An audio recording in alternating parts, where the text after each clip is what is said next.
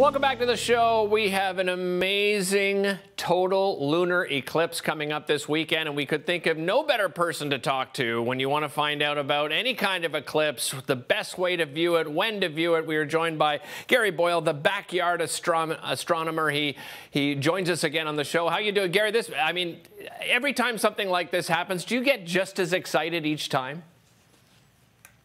I get excited on any clear night, but especially events like this that brings people outdoors to look at the nighttime sky that people have been looking at for thousands of years. Gary, let's talk about um, you know the, the basics to begin with. When is it going to happen, and, and what time, and, and what's sort of the best viewing times for a, this total lunar eclipse? Well, the eclipse begins this Sunday night, May 15th at 10:27 p.m. Eastern Time, a little earlier as we go out west.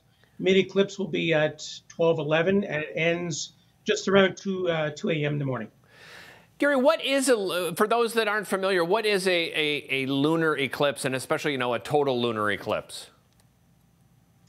Well, an eclipse really is when we have the sun, earth, and moon lined up perfectly.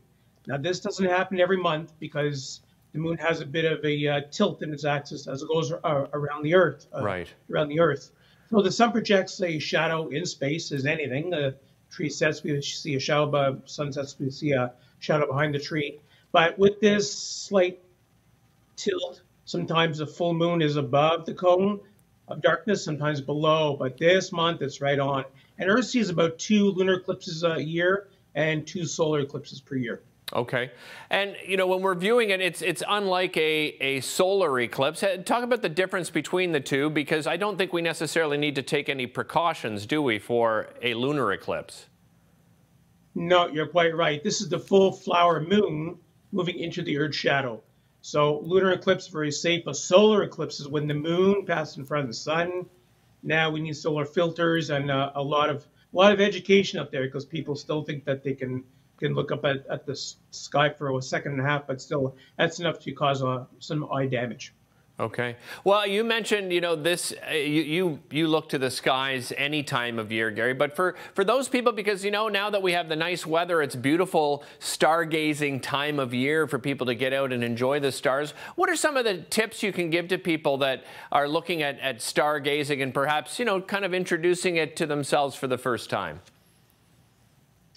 Well, first thing that people will notice is as soon as the sun sets in the west, look east on, on a clear night, you'll see a dark band.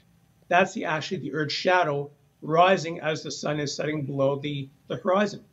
Uh, of course, now we have the moon out. The moon's always great to look at through a telescope or binoculars. But on clear nights when the moon's not out, it's cottage season now. If you can get away to the cottage or, or campsite, the Milky Way now is coming to view early and earlier. It's best high in the sky around July and August.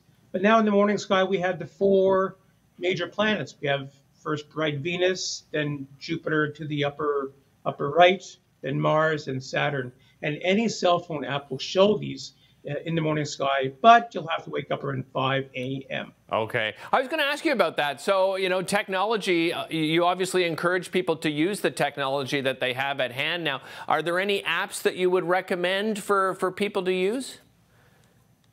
Well, for iOS, I use Sky Guide. Okay. And it's on, I think, four dollars to, uh, to, to, to download, and still, it's it's great. You can go a thousand years in the past, in the future, uh, anytime. Set your location on where you live, and you can click on stars and planets. It has a raft of information. Wonderful place to uh, to learn the sky. And if not, people can always uh, send me an email through my website. Yeah, light pollution, ha, you know, has really created a, a, difficult time for, for people to, un, unfortunately, to, to stargaze in, in the city. But for those people, you know, that can't get away, um, do you recommend they try to, you know, go to their local park or, you know, maybe, you know, just enjoy, you know, going down to the Ottawa River, those kinds of areas where you where there's less light pollution?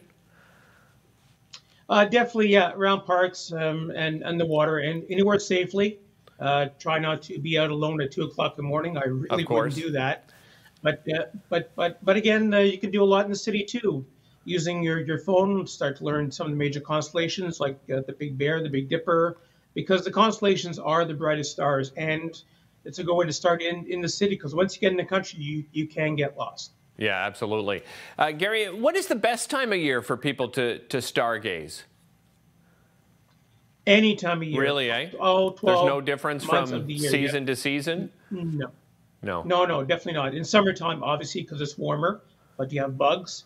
In December, you have no bugs, but then you get beautiful Orion, the winter constellations, the brighter stars. Uh, there's just a raft of objects, especially if you have a telescope. Uh, the sky's the limit. Let's put it that way. Right. Uh, Gary, remind everybody, uh, you mentioned this Sunday, May the 15th. Um, the beginning of, of the lunar eclipse is when?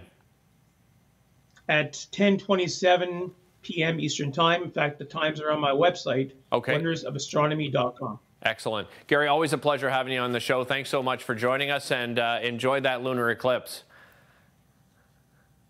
All right, take care. Hey, don't go anywhere. We'll be back with more daytime talking beer right after this.